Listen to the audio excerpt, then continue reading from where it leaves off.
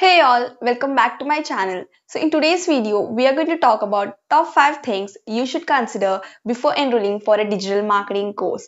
So let's just start with the video.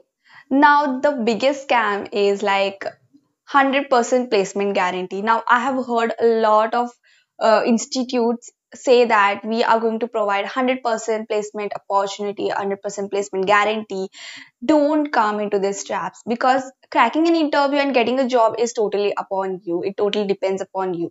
So it's not like uh, they have any tie with the company and uh, if you study from that institute you will uh, ultimately get the job. It's not like that. What happens is after completing your course uh, the institute sends you to a company for an interview and cracking that interview it totally depends upon you. Now how you can crack the interview is like learning digital marketing doing practically digital marketing. That's how you can get a digital marketing job now, the second biggest scam is uh, institutes claim that we are going to give you Google certification, HubSpot certification, Facebook certification, guys don't come into these big scams because what happens is uh, if you want a google certification or a facebook certification just go into google and study for free. And even google gives you a free certification of digital marketing. Even hubspot has a lot of digital marketing courses. So you don't have to uh, particularly go for an inst- uh, institute for learning these skills or do digital uh, google, google certificate. It will be available online and you can do it for free for that certification. So that's not something you should consider before enlo- enroll for a digital marketing course. So that's not the USP of an institute. You should consider some uh, something else like they are learning, how they teach, uh, do they do it practically or not. That those are things you should consider. But if they are giving you Google certification or Facebook certification, that's not something you should consider. Now, the third thing is ideal course duration. Now, digital marketing course uh, duration can be from like two days or to six months or one year. Now, many of them, uh, some of them offers you for two days, like you can just complete digital marketing in two days or from six months or in one year. Now, the point is you won't learn digital marketing unless and until you do it practically. So, even if you're doing it for three years or for one year, you are not going to learn digital marketing unless and until you practice for it. So, when you learn digital marketing, do it practically while being on digital marketing course. When you're learning digital marketing course, do it practically. So digital marketing is all about practical work. Now the fourth one is a digital marketing certification gets your job. No, a digital marketing certification doesn't get you a job. Now the most important certification that gets your job is your experience certificate.